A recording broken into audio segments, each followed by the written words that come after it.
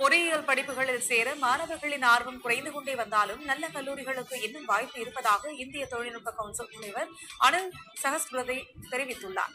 சென்னையில் தனியார் கல்லூரியில் நடைபெற்ற பட்டமளிப்பு விழாவில் பேசிய அவர் இதனை கூறியுள்ளார்.